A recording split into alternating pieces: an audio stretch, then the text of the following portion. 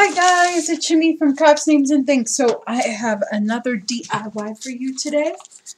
Hi guys, it's Shemi from Crafts Names and Things. So I have another wonderful DIY for you today. Today I'm going to show you how to make your own envelopes out, out of um, the paper that we painted and added just our homemade stencils and um, stamps to.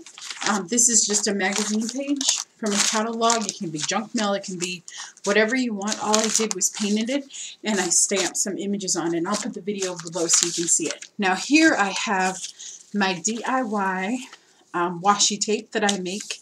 Um, I saw this on a blog and then I looked it up on YouTube and there's a lady, um, Secret, who has a YouTube channel here. She's wonderful and she makes her own too. So um, it's actually pretty awesome. So um, I'm going to show you a video um, showing you how to do that, and I'll link her video below too so you can watch it.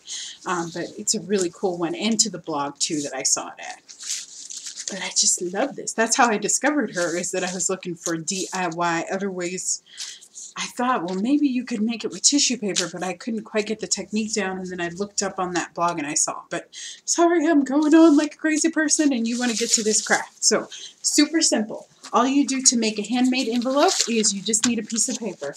Just you can even cut it from your drop paper, it doesn't matter. But I want to show you um, one from junk.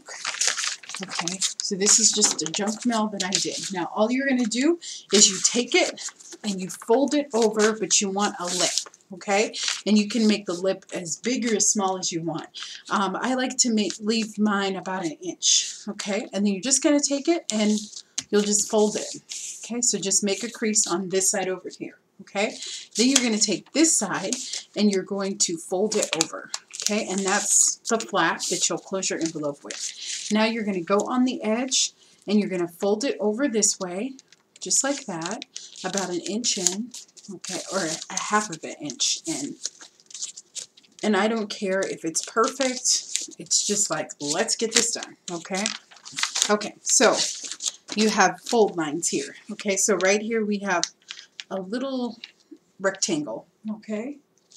Can you see that? So right here is a rectangle, okay? And I'm going to cut that off on both sides, okay?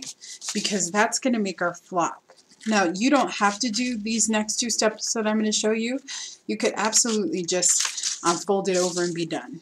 But um, I just like the way that this, the way that I do it looks, okay?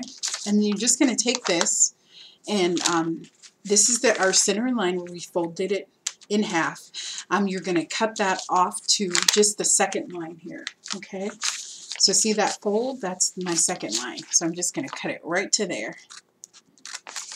Hopefully I'm explaining this okay. Alrighty, just like that. And then we're going to, let me see here. Here's my sample one. Okay. So let's do that with the other side. Okay. And then what we have to do is we have to get rid of this flop here. Okay.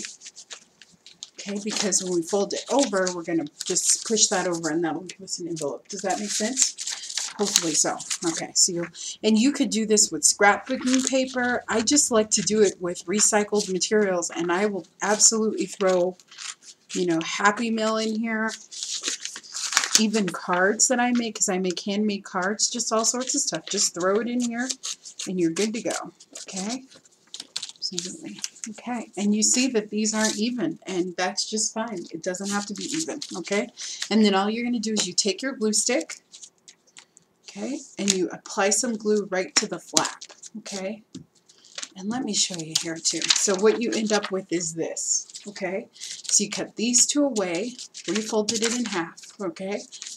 And then um, you're just going to fold that over, just like that. Now, um, the glue stick is fine, but I just like to reinforce mine and add a little bit of pizzazz to it. So I'm going to take my DIY tape. I'm going to actually use this kind. And this is so simple to make. This is just tissue paper that I got from the dollar store. And imagine all the DIY washi tape that you can make from tissue paper. There's so many beautiful tissue papers out there. Can be a little difficult to get off sometimes, but that's just because of the double-sided sticky. Yeah. because it's tape. Okay, you're just going to take it and make sure that you put half of the tape on this, on the, your fold. Okay, hopefully you can see this, I hope. Okay, we're just going to take it and we're going to smooth it out. And this stuff works great. And I get my double-sided sticky tape at the at a an art store near my house. It's super cheap. And this is nice and wide, but you could do it in any width. And I'm talking so much about this washi tape that I'm going to make that video next. Okay, so you're just going to take it just like that. Okay, just like that. Okay. It's just so easy to make, okay? There you go. And you have an envelope, okay? So when you mail it, all you'll do is just take your hot, just take your, not your hot glue, your glue stick, and you'll just apply it. And then I would even put another piece of washi tape there just to make sure that it's secure or you can staple it, okay?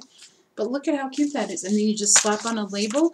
And this envelope costs you pennies to make. And the best part is that um, they can open this up and use it to collage, you know, and it didn't cost you any money. And um, I know sometimes you spend hours decorating those envelopes and then you always wonder, like, is someone just going to throw this in the trash, you know? But that's part of letting go. But but it's nice that you could do something equally beautiful, you know, and wonderful um, that you really don't mind if someone just tosses. But I would never do that if someone sent me happy mail. But just in case, there's always ways that you can repurpose it with collaging and all sorts of stuff. But um, hopefully that's an easy way um, for you to make your own handmade envelopes for Happy Mail, for cards, for mixed media, for whatever you need them for. So thank you so much for watching, and um, I will see you next time. I'll put a link below to how I decorate my paper and to the DIY tissue paper washi tape. Thank you so much for watching. Bye.